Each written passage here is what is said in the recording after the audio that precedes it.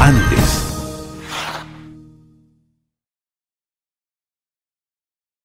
Estamos construyendo una agenda permanente en las diferentes provincias. Ayer estuvimos en una agenda importante en la provincia de Santa Elena y hoy acá en la provincia de Guayas también, cumpliendo una agenda técnica operativa que nos permite ir haciendo ese seguimiento, ese acompañamiento al proceso electoral que estamos a menos de seis meses ya de vivir nuestras elecciones que serán el 19 de febrero la primera vuelta y en caso de haber segunda vuelta el 2 de abril y así cumplir con la posesión de las nuevas autoridades en mayo del próximo año.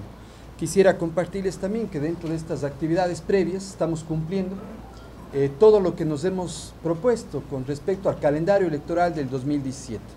Y obviamente un calendario que se aprobó en febrero de este año y que hoy nos ha permitido ir cumpliendo todos los hitos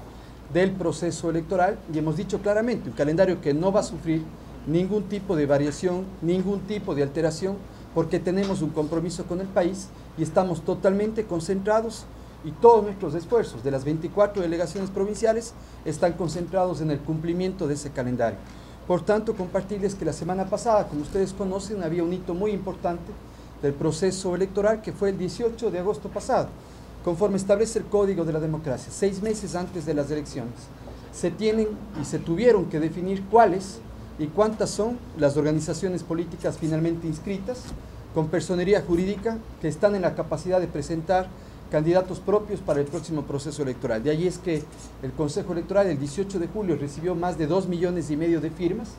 y su parte técnica, el área de coordinación de participación política, eh, pues pudo inmediatamente emprender su plan operativo y cumplir con las fechas y los plazos que establece el calendario electoral.